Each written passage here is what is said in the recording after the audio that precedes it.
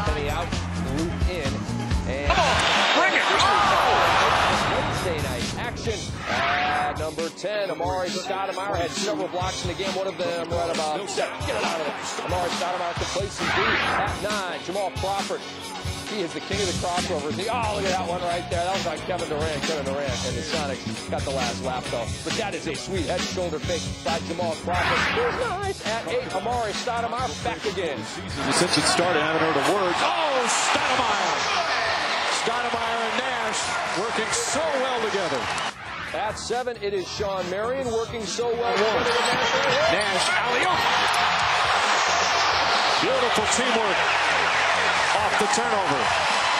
You like dunks? How about Melo at number 6? With the follow. More dunking at 5. It is Kevin Durant, the two-handed stuff at the guard Gordon. He's a finisher. Young fella. You got to get it out of his hands. He's a finisher. At 4, Amare, his third appearance.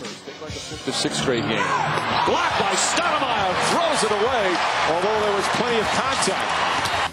That was ruthless. At 3, Chris Paul, the spin. And he's got it. Chris Paul, a nifty move. He's got 13 points.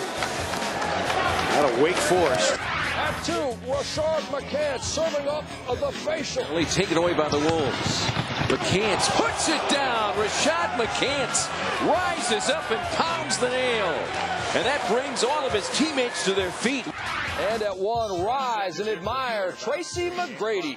Oh, oh! There. The first half ended with a resounding finish thanks to Tracy McGrady. Come on, bring it. And that's your daily top 10. And my man